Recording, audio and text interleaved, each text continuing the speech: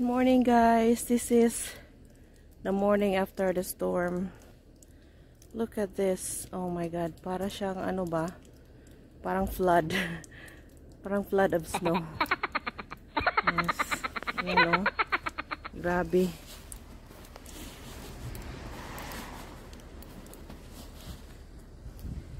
Yan ang asawa ko naglilinis sa aking car.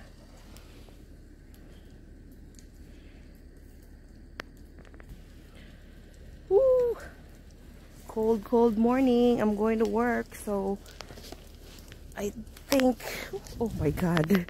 Tingnan niyo. I can't I can't find the step.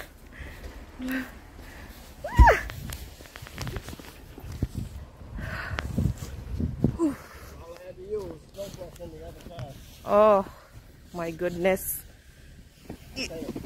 Oh. Tingnan niyo guys Lots of snow. You can go. Oh my goodness.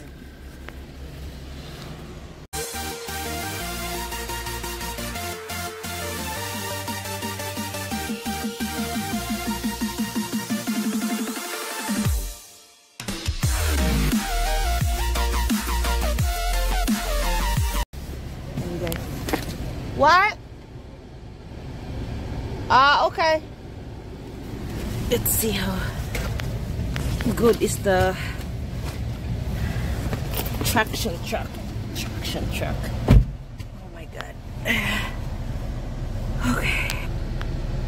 Oh, good luck sa mga drivers na nagda-drive po. I'm just glad that I work really, really close at home. So, hope everyone is safe. Late na po ako sa work. Okay, but I'm not gonna rush. I'm not gonna, I'm gonna take my time kahit malapit ako sa, sa, sa work namin kasi it's very slippery.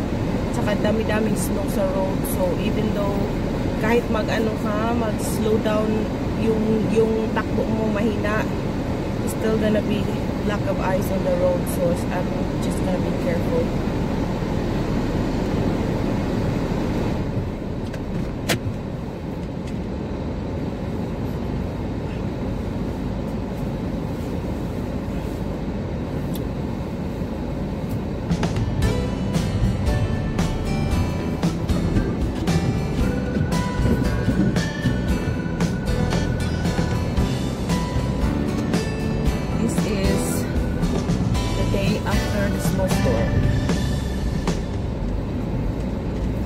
Think it's not done yet because it's supposed to snow until um, later today and then tonight.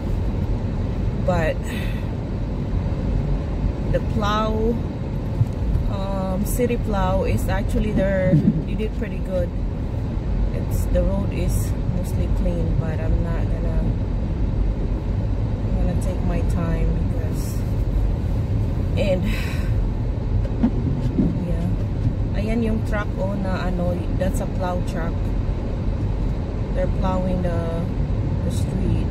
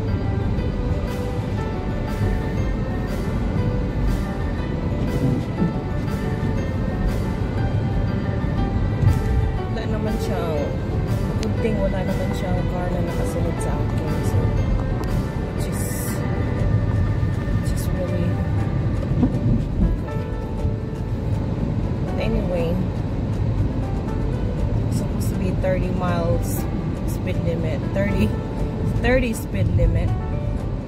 Yeah, lang I'm driving like 20 so I'm 10 uh, below the speed limit. Actually this this side of the town is actually pretty good. So um, kasi iba-ibang iba-ibang town, iba-iba din yung palig yung ano nila yung um, para siyang ano ba, how it works yung sa ano sa city and then uh, uh, different town. anyways.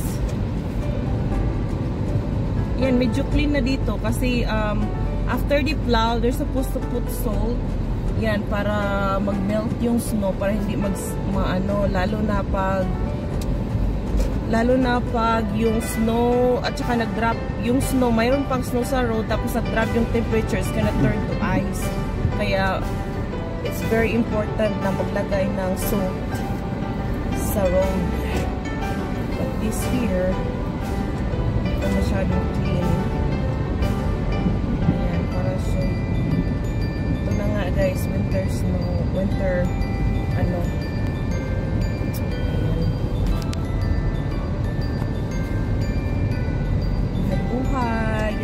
ganito talaga buhay dito. I'm actually only a few minutes late, but I don't care. Oh my god. You see that? Ayan, nag-slide-slide ako guys kahit naka-overdrive. I'm still lucky. Kasi kung small car pa yun, my other car, would have been more difficult. Kung yung isang small car pa yun ang ginamit, yung pinadrive ko. So, this is not too bad. Plus, I'm, I'm really close. Ayan. Dito ako mag-park kasi meron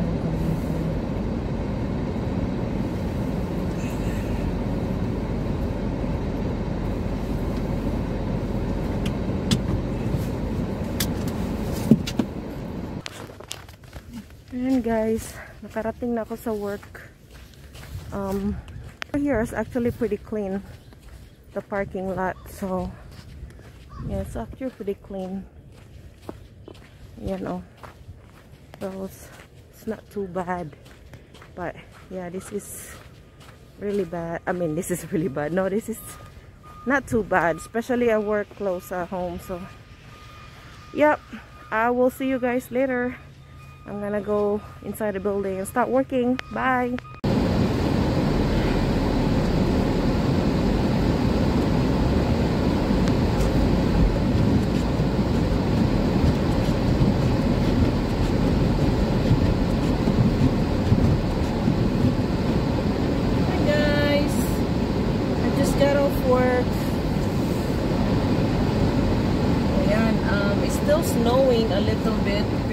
Na siya ganong ano dumidikit. But um, I heard na mayroon pang another snowstorm um, two days from now. So pero if it's gonna keep doing like this baka ano mag-accumulate din naman um, through the night. Kasi ano um, siguro sa lake effect din.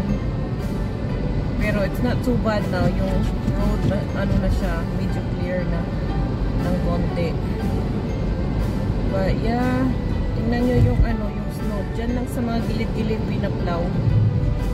Ayan. Ayan, magstay lang yan siya, ano, di, di pa yan mag-melt yung mga snow kasi ano yung temperature namin,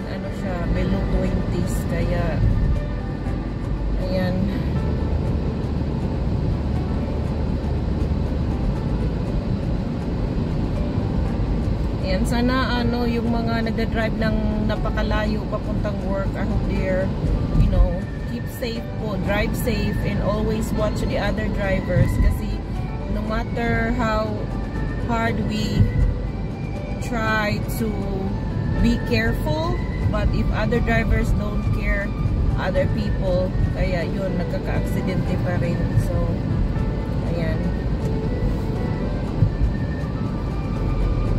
I hope everyone is doing great and keep everyone safe.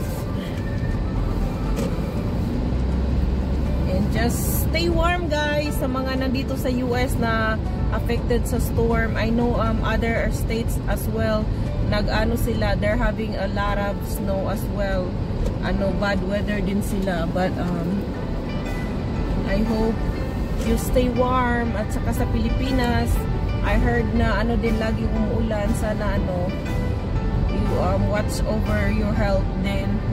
Huwag masyadong maglabas-labas kung hindi naman kailangan. Okay guys. I'll see you next video. Um kung hindi pa kayo subscribe sa aking channel please subscribe para updated kayo sa ano sa mga happening ng aking buhay-buhay. Thank you guys so much sa mga ano sa mga nagpa-follow sa aking vlog. Thank you guys so much. Keep safe everyone. Bye-bye. Tingnan niyo yung snow guys, oh.